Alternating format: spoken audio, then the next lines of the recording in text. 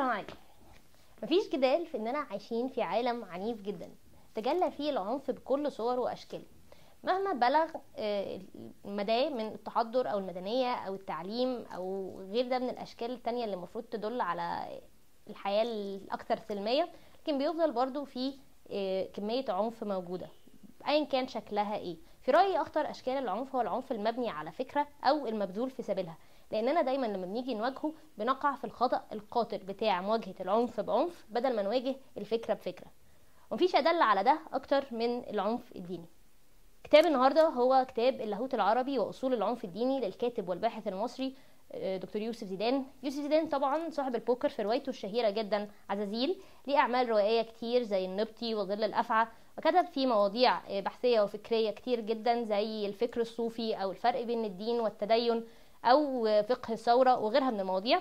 لكن في رأيي كتاب النهارده اللاهوت العربي هو أهم ما كتب يوسف زيدان وده علشان حاجتين. أول حاجة علشان الموضوع اللي هو بيتكلم فيه موضوع فعلا مهم وفعلا مؤثر. وثانيا لأنه بيتكلم أو من من من منظور مختلف تماما عن آه، المنظور اللي غالبا بينظر بيه للمواضيع أو الحوادث اللي هو هيحكي عنها اللي غالبا بتكون معروفة لناس كتير مننا ولكن دلالتها دايما بتكون مبهمة. يعني إيه لاهوت؟ اللاهوت هو العلم المختص بالبحث في الذات الإلهية أو صفات الخالق. وهي كلمة أصلها آه، سورياني انتقل للغة العربية وغالبا بيستخدم في الدراسات المتعلقة المتعلقة بالمسيحية. يعتبر عكس الناسوت والمقابل ليه في الدراسات الإسلامية هو علم الكلام. زيدان في الكتاب ده بيحاول يكسر الفكرة اللي معروفة بالنسبة لنا كلنا من إن الاختلاف أوجه الاختلاف بينا جوهرية وكبيرة جدا وده عكس كل اللي إحنا عرفناه من كتب التاريخ أو من دراسة أو حتى من الثقافة الشعبية. بيقول إن كل الحروب اللي قامت لأسباب دينية في أصلها وفي حقيقتها ما كانتش قايمة لأسباب دينية ولكن كانت قايمة لأسباب سياسية أو محركها الأصلي كان أسباب سياسية. وبيعبر على ده بقوله إنه لما بتتماس دوائر الدين والسياسة لازم بيجي معاهم أو لازم يحركوا معاهم عجلة العنف الديني. وده اللي عبر عنه أيضا بفكرة وحدة الأصل واختلاف التجليات. الكتاب بيناقش الموضوع طبعا من ثلاث وجهات نظر وجهة النظر اليهودية ثم المسيحية ثم اليهودية آه، ثم الإسلامية. وده من خلال بحثه في آه، أو مقارنته بين صفات الله في التوراة ثم في المسيحية ثم في الإسلام. وبعدين بيتكلم على التغيرات اللي طرأت على كل ديانة من الثلاثه دول من أول صورتها الأصلية اللي نزلت بيها أو اللي اتعرفت بيها وبعد كده التغيرات اللي طرأت عليها سواء اختلافات آه، أدت لوجود فرق ومذاهب وملل داخل الدين الواحد. والتغيرات دي أدت للفصل الأخير من الكتاب اللي هو فكرة العنف الديني لأن التغيرات دي كان آه، بعضها متطرف جدا آه، حتى داخل الدين الواحد أو المذهب الواحد. أسلوب يوسف زيدان بعيدا عن إنه أسلوب مختلف عن آه، كتاب كتير موجودين دلوقتي وبعيدا عن إنه أسلوب فصيح جدا في رأيي وفي الكتاب ده بالذات بيتميز بحاجتين.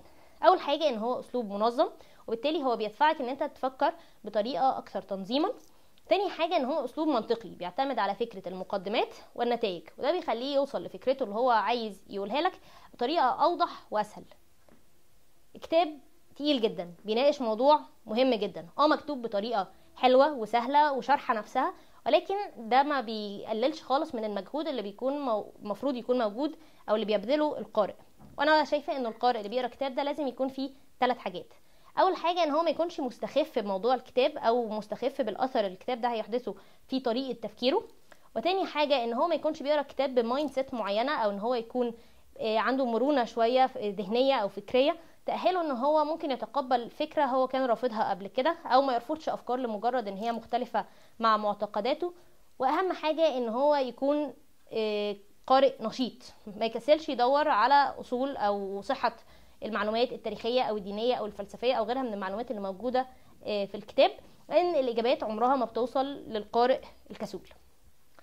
آه، لاهوت العربي في رأيي من أهم الكتب اللي اتكلمت عن مقارنة الأديان أو اتكلمت عن الفروق وأوجه التشابه بين الأديان.